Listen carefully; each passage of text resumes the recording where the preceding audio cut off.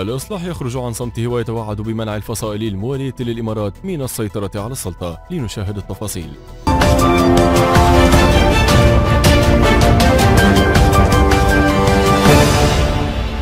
توعد حزب الإصلاح جناح الإخوان المسلمين في اليمن بالوقوف أمام طموحات الفصائل الإماراتية في السيطرة على مفاصل السلطة في مؤشر على مخاوف الحزب من مخطط إقصائه بالتزامن مع استمرار توغل مؤتمر صالح والانتقال المواليان لأبو ظبي في مفاصل الدولة. وقال عبد الرزاق الهجري رئيس الكتلة البرلمانية لحزب الإصلاح والقائم بأعمال الأمين العام للحزب أن حزبه لا يطمح للاستحواذ على السلطة على الرغم من كونه القوة الأكبر في الساحة اليمنية وفق تعبيره. وأضاف بأن الحزب لن يسمح لأي قوة أخرى بالاستحواذ على السلطة خلال الفترة المقبلة بإشارة إلى الفصائل الموالية للإمارات. تأتي هذه التصريحات بالتزامن مع استمرار مخطط الإمارات لاجتثاث الحزب الذي ظل مسيطرا على السلطة منذ عام 2012 حتى الإطاحة بالرئيس الأسبق عبد ربه منصور هادي وعلي محسن الأحمر من المشهد اليمني وتمكين الفصائل الموالية له